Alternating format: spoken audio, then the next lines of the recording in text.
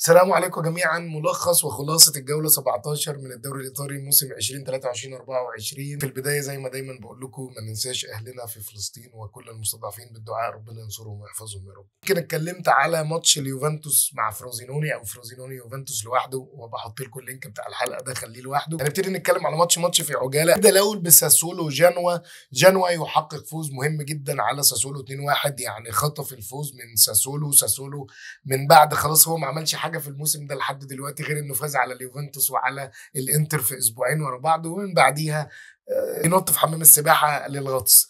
فساسولو يعني يخسر على أرضه وجنوا بقيادة جيلاردينو فوز مهم جدا 2-1 على ساسولو.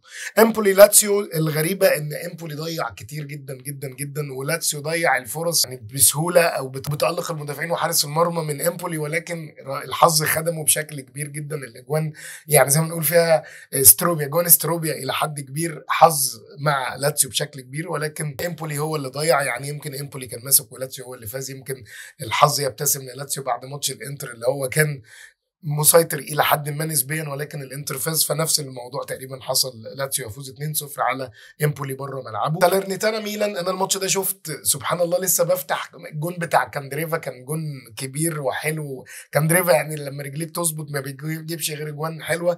فكان الهدف ال 2-1 ولكن لما شفت ال highlights كلها لقيت يعني كان ماتش متكافئ إلى حد ما. ميلان ضيع سالرنيتانا ضيع 2-2 ميلان عرف يخطف التعادل في النهاية ولكن برضو أظن تعادل غير مرضي لكل عشاق الميلان أو مشجعي الميلان لأن ميلان قاعد ينزف في النقاط وابتدى المركز الثالث وهنتكلم على الترتيب ابتدى يكون في يعني خطر شوية من بولونيا المنتشي بالفوز على الإنتر وهنتكلم على بولونيا في ميعاده.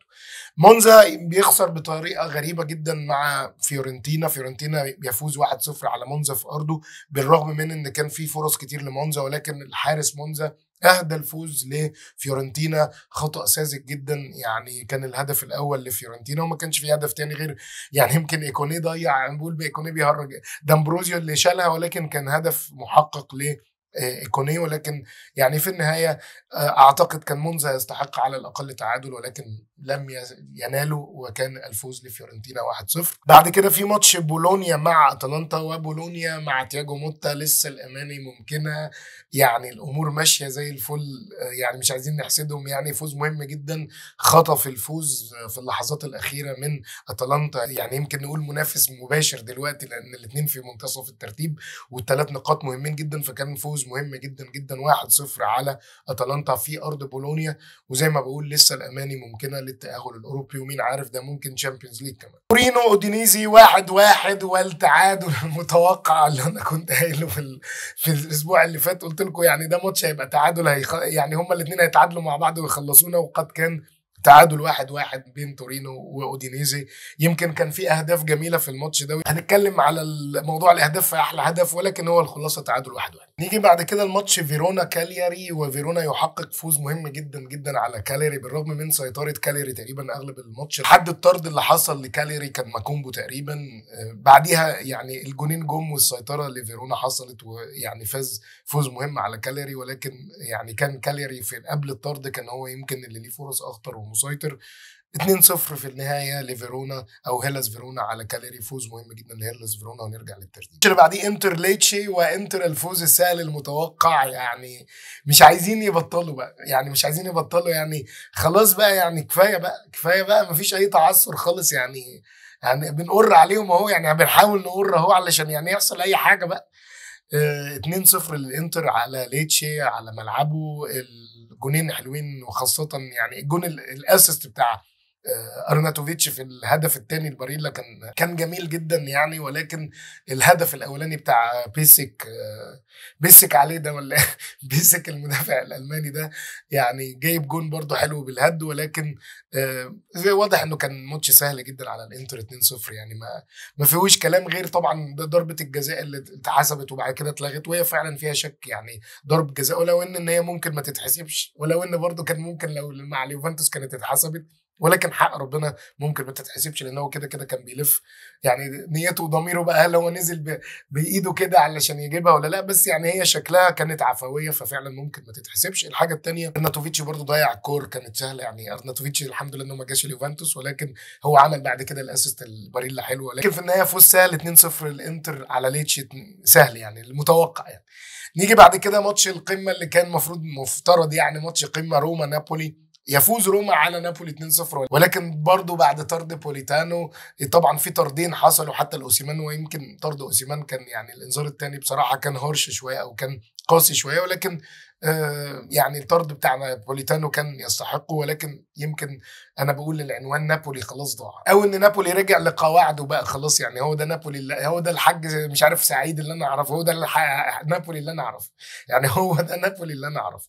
فنابولي رجع تاني آه نابولي الماتش واضح إن هو كان يعني هنقول سجال إلى حد ما مع تفوق نسبي لروما. كان في بوفي كذا كورة ضيعها وفي كورة كان لو كان الجون شوطة من بعيد لو كانت في الجون وهتحسبت هدف كان هيبقى هدف الجولة بلا منازع ولكن بعد الطرد ابتدى في جون برضو حلو جدا لبليجريني من أحسن الاجوان في الجولة هنتكلم فيهم. وبعديها جون بتاع لوكاكو يعني في الوقت الضايع ما كانش يعني هو ليه لازمة قوي ولكن 2-0 روما على نابولي. يعني نابولي ابتدى يبعد وروما ابتدى يقرب يعني فوز مهم جدا في ماتش قمة الجولة. نتكلم على الأجوان ونتكلم على الترتيب والماتشات اللي جاية، الأجوان أنا بالنسبة لي علشان ما اضيعش وقتكم في جون طبعا بليجريني حلو، جون بيسك حلو، جون باريلا حلو، في جونين بتوع أودينيزي ومع تورينو سواء زراجا أو إيليتش ولو إن إيليتش كان يعني هدف إستروبيا شوية، أجوان حلوة. ولكن أنا بالنسبة لي جونين اليوفنتوس مش علشان اليوفنتوس أنا بتكلم يعني أنتوا عارفين إن أنا بغض النظر عن الانتماءات أنا بحاول أقول كلمة الحق. لا جون يلدز وجون فلاوفيتش يعني أنا مش قادر يعني جون يلدز حلو جدا وفي مهارة وعدى من الأول من ثلاثة ودخل وشطه في الضيقه وهو اللي فتح الماتش وفي سنه الصغير. جون جميل جدا ولكن برضو أنا بالنسبة لي فلاوفيتش الهدف كان جميل. يعني فلاوفيتش من أول ال assist إنه راكب طاير الكورة وحاططها بإيده بصراحة فلاوفيتش برضه هدف جميل. أنا ما أعرفش أنتوا رأيكم إيه مين أحلى هدف في الجولة؟ لو حد عنده حاجة يقولها لي في التعليقات وما أعرفش بالنسبة لكم لو هنقول يلدز ولا فلاوفيتش بغض النظر عن اللي بيحبوا فلاوفيتش أو ما بيحبوش أنا بتكلم كجمال هدف وأنت بتتفرج كده اللي انتزع منك القبة الاثنين بصراحة. يعني أنا بصراحة الاثنين مش قادر أقول مين أحسن من مين. يعني ممكن ساعات أقول شوية أقول يلدز وشوية أقول فلاوفيتش مش قادر أقرر بصراحة. قولوا لي رأيكم إيه؟ ولو إن يعني جون فلاوفيتش برده في الإعادة كده ما أعرفش. يمكن الزاوية بتاعت التصوير ما أعرفش ولكن الجونين حلوين جدا فأنا شايف جونين الجولة أو جون أو هدف الجولة بين يلدز وبين فلاوفيتش الجونين بتوع اليوفنتوس فعلا من غير تحيز ولكن الجونين دول كانوا حلوين جدا. يمكن زي ما قلت في جوان تانية لو حد عنده حاجة تانية يقولها نيجي نتكلم على الترتيب. الإنتر يعني 44 نقطة في المركز الأول واليوفنتوس في المركز الثاني ب 40 نقطة. لسه الحمد لله محافظين على فرق الأربع نقاط يعني بعد التعادل كانوا اتنين زادوا الجولة اللي فاتت ولكن اللي حصل حصل.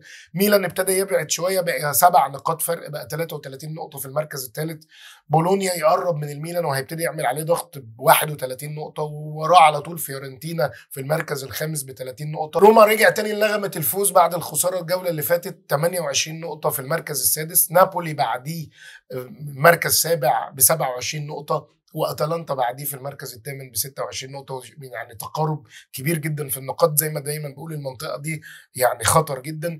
لاتسيو تاسع ب 24 نقطة تورينو عاشر ب 24 نقطة بنفس عدد النقاط. مونزا 11 الخسارة أخرته شوية كان ممكن يكون فوق لاتسيو وتورينو ولكن هو في المركز ال 11 ب 21 نقطة.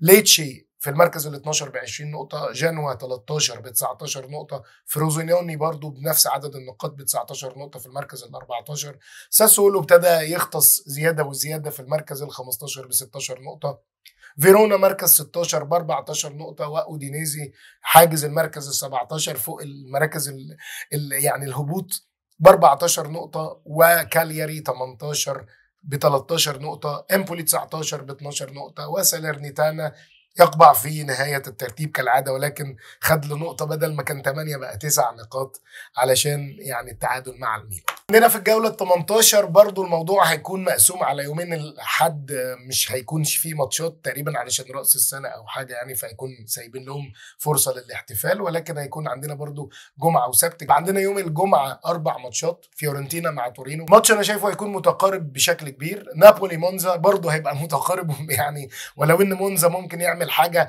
على ملعب نابولي. جنوا انتر ماتش ممكن يكون صعب شوية على الانتر ولكن يعني ما صعبش عليه حاجة بقى ونديها كده نديها شبورة برده جايز تشتغل. يعني كل مشجعين اليوفنتوس والميلان مع بعضينا كده يعني جايز نعمل حاجة يعني. ف... فالانتر يعني مع جنوا جايز جيلاردينو يعمل حاجة هنشوف يعني الموضوع. ولو إن يعني برده هيكون سهل في الغالب لإنتر. لاتسيو فروزينوني لاتسيو حبة فوق حبه تحت يعني ممكن ماتش زي ده فروزينوني يعمل حاجة آه عادي. ده كده الأربع ماتشات بتوع يوم الجمعة نيجي يوم السبت ست ماتشات. أتلانتا ليتشي يعني مفترض يكون سهل على أتلانتا ولو إن ليتشي ممكن يعقر شوية. كالياري إمبولي ماتش متكافئ إلى حد ما يعني ممكن يبقى تعادل. أودينيزي مع بولونيا هل ملوك التعادل هيعرفوا يتعادلوا مع بولونيا ولا بولونيا هيكمل في نغمة الفوز مع تياجو موتا؟ هنشوف. فيرونا سالرنيتانا ماتش متكافئ إلى حد ما. ميلان ساسولو يعني الميلان بقى هل ساسولو هيعمل زي ما عمل مع الإنتر واليوفنتوس وهيكسب الميلان على أرضه ولا الميلان هيعرف يفوز ويرجع لنغمة آه، الفوز بعد التعادل مع سالرنيتانا؟ يوفنتوس روما ماتش قمة الجولة والسهرة ليوم السبت على ملعب اليوفنتوس ونتمناها إن شاء الله فوز لليوفنتوس. كانت الخلاصة وأحلى هدف والترتيب والماتشات اللي جاية. زي دايما بقول اللي أول مرة يشوف القناة دي مش قناة بس عن الدوري أو الكورة أو اليوفنتوس لأ فيها كلام طب وشرح طبي بشكل مبسط وحاجات كتير بعيدة عن الطب يا رب تكون قناة ممتعة ومفيدة. لو لقيتوها تستحق الاشتراك ما تنسوش تعملوا اشتراك عشان يوصل لكم كل جديد وبصوا على القوائم علشان كل واحد يشوف اهتماماته إيه ويبص عليها. وقبل ما أمشي دايما بذكر نفسي وبذكركم ما ننساش ندعي لأهلنا في فلسطين وفي كل مكان من المظلومين والمستضعفين بالحفظ والرعاية وربنا يحفظهم وينصرهم ويعني يامن روعاتهم. وحسبنا الله ونعم الوكيل على كل ظالم يعني وحسبنا الله ونعم الوكيل. ربنا يدينا العمر والصحة ونشوف بعض على خير الماتش الجاي أو اللايف الجاي أو الفيديو الجاي. والسلام عليكم ورحمة الله وبركاته.